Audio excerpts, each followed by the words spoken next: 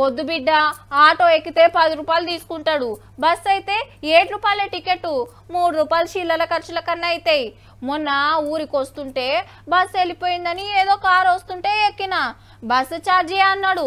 దిగేటప్పుడు ఇరవై రూపాయలు ఎక్కువ తీసుకున్నాడు. గదే బస్ అయితే గిట్లుంటుందా?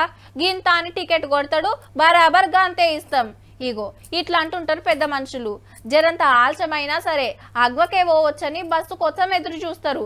అయితే ఆర్టీసీ బస్సు అందరిదంటారు కానీ పర్సుల పైకం ఉన్నోలేదే అయ్యేటట్టున్నది ఆవు మరి వరుస పెట్టి ఛార్జీలు పెంచుతున్నారు. గిట్లనే దూర ప్రయాణాలు పోతోళ్ళు ముందుగానే టికెట్లు రిజర్వేషన్ చేసుకుంటారు కదా గా ఛార్జీ పది రూపాయలు పెంచిండ్రు.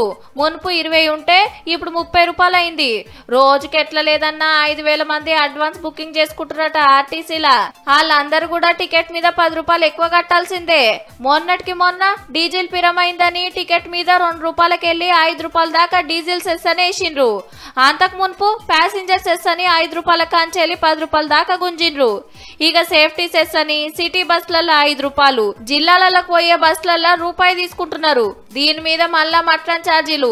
బస్ ఎక్కితే ఎట్లా లేదన్నా పది రూపాయల కాంచెల్లి ఇరవై ఐదు రూపాయల దాకా తుట్టి పడ్డట్టే బస్ పాస్ల రేట్లు కూడా పెంచిది. ఈడికే అయిపోలేదు లో ఈ అన్ని స్పెషల్ ఛార్జీలు మాత్రమే. ఇంకో వారం పది రోజులైతే టికెట్ల రేట్లు పెంచే కథ ఉన్నది. కిలోమీటర్కు నలభై నుంచి యాభై పైసలు పెంచుతారట.